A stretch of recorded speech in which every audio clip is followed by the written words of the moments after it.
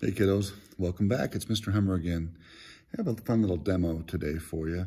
One of the things I think I enjoy most about science are discrepant events. A discrepant event is an unexpected outcome to an experiment or to a demonstration. And I think what I'm about to show you today is a good example of a discrepant event. So I'm going to take a block of wood, boys and girls, and just put a few drops of water on that block of wood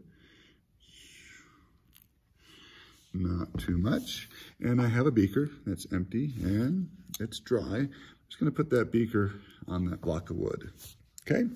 And then I have some ammonium thiocyanate and some barium hydroxide octahydrate. And I put both of those compounds in this beaker. There's my ammonium thiocyanate, and here is my barium hydroxide. And then I'm just gonna stir it up and take a look at what happens as I stir these two salts together. Hopefully one discrepant event will appear pretty quickly.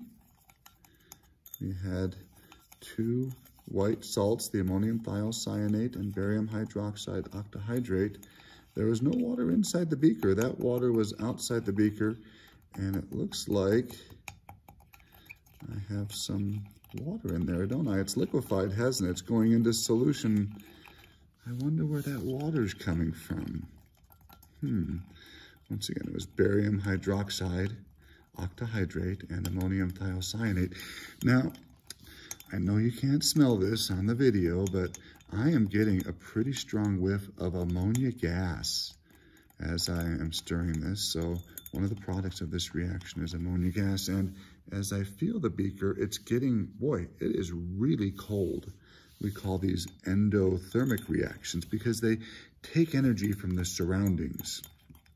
It's called endothermic. In fact, if you remember the surroundings, part of it is the block of wood and that drop of water I put on the block of wood. In fact, this reaction is so endothermic and it gets so cold that that drop of water that I placed on the block of wood freezes. In fact, it's really hard for me to take the beaker off. It's frozen to that block of wood. Let me try here. Well, I can do it. Oh, I can't. It's called an endothermic reaction. Did that surprise you? It did me the first time I saw it. I thought it was pretty cool, and it turned me on to science. Maybe it'll do the same for you. Talk to you soon. Bye-bye.